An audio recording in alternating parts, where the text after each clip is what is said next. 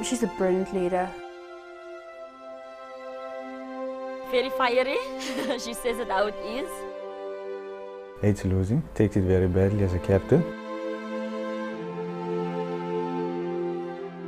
She's a tough character.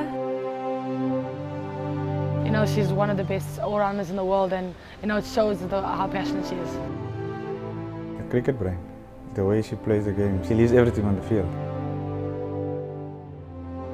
I actually don't know how to describe her, but she believes in the players. She backs you all the way, and if you feel you can do something, she's always there for you to say, listen, how can I help? She comes at you hard, but I think she's a really good leader and she's good for this team. I think in the past we were almost too kind, um, so if you did something wrong, just smile and be happy, wait on her. She tells you straight as it is.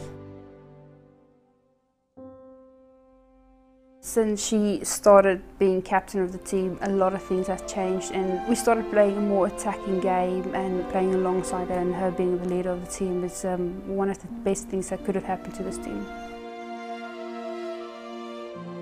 Dane, well, she's absolutely fabulous. I think she's a fiery character, but it just comes from the right place. She's so pumped up with passion, playing for her country, and, and she's always leading from the front. So I think that's that's what makes her special. She loves what she does, and she's very passionate about us and this group of girls.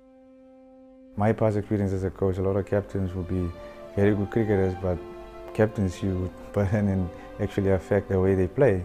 But her performance has just gone better and better as soon as she started becoming captain.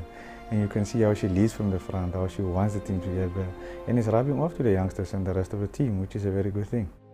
I think she's been great throughout this whole tournament and past two years she's been phenomenal, um, ball and bat.